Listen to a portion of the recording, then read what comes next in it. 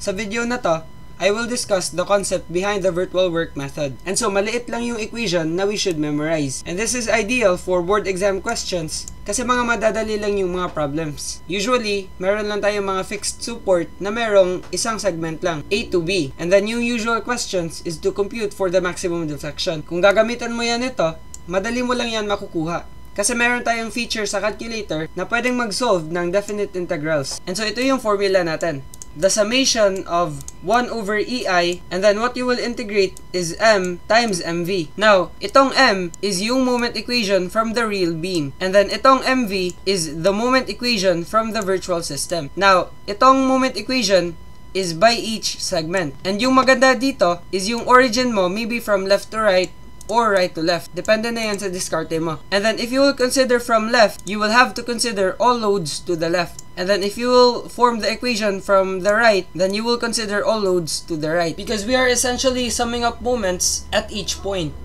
Now, ito yung gagawin mo for the virtual system.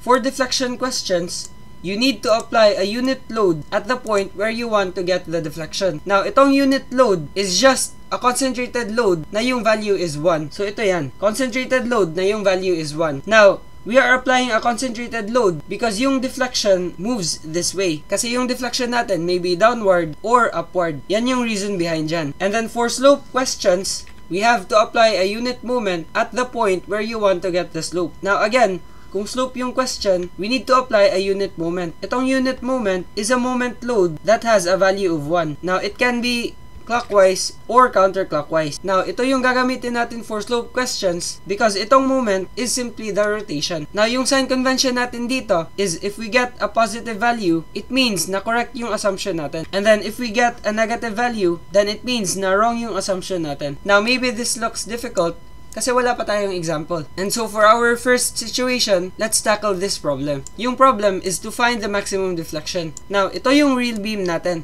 And then, ito yung virtual system. Now, yung origin natin, maybe from left to right or right to left. So, we can make a cut dito, and then let's consider this as our origin, magiging ganito. Or, we can make a cut dito, and then let's consider this as our origin. Depende na yan sa diskarte mo. Now, what's ideal to do here is dito tayo magka-cut. And then, let's choose this as our origin, from right to left. And so, if from right to left, yung conventions natin mag-change. Yung clockwise moments, magiging negative, and yung counterclockwise clockwise moments magiging positive. Now, the resultant of the distributed load will cause a clockwise moment about dito sa cut. And so, that will be negative kasi from right tayo. And so, this will be x. Now, I am choosing the origin from the right para hindi ko na isosolve yung reactions dito. Kasi hindi na kasi yan kasali sa cut. And so, I will form the moment equation for the real beam. Now, yung moment equation from the right in terms of x is 70 times x. Ito yung resultant ng force mo. Multiplied by the moment arm na half ng x, which is x over 2. So, times x over 2. Again,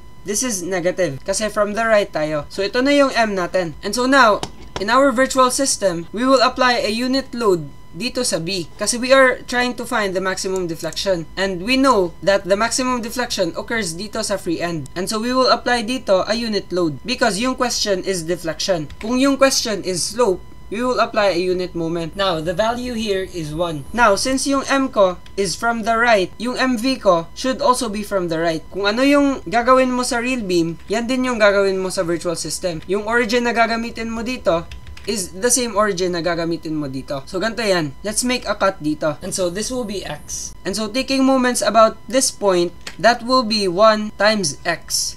And then, because from the right tayo, this will cause a clockwise movement about this point. And so, that will be negative. So, yung MV natin, ito yung moment sa virtual system. That will be negative 1 times x. And so, now, we can apply this formula. Now, since isa lang yung segment natin, A to B, we will only get one definite integral. And so, yung deflection at B is equal to 1 over EI times the integral from 0 to yung length ng segment natin is 8 meters. So, this will be 8. Yung M natin is negative 70 x squared over 2. And then yung MV natin is negative 1x. And then merong dx dito. Default na to because we are integrating x. And so we can use our calculators directly from 0 to 8 and then negative 70 x squared over 2 times negative 1x. And so ito na yung answer natin. It's very efficient. Kasi itong virtual system, you don't need to draw this if you are already familiar with the moment equation.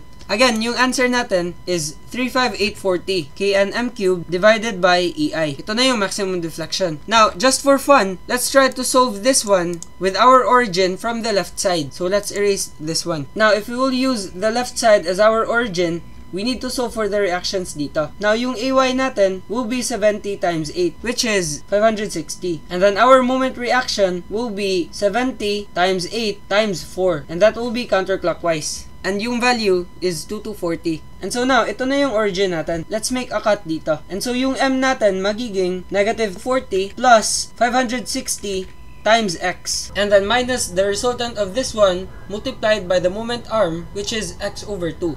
And so this will be 70x times x over 2. Ito na yung moment equation natin from the left. And since from the left tayo dito, we should also make a moment equation dito from the left. And so let's solve for the reactions. Now, madali lang to because yung AY natin will simply be equal to 1. And then yung moment reaction dito is equal to 1 times 8 but counterclockwise. To counteract this one. And so this will be 8 knm now yung origin natin will be also from the left. And so let's make a cut dito. This will be x. And so yung moment natin about this point will be negative 8 ito plus 1 times x. And so ito na yung equation natin. Again isa pa rin yung segment natin a to b. And so yung deflection at b or the maximum deflection is equal to 1 over ei times the integral from 0 to 8 and then copy natin yung m negative negative 2 to 40 plus 560x minus 70x squared over 2. And then multiply natin yan by mv, which is negative 8 plus 1 times x. And then meron tong dx. So let's use our calculators.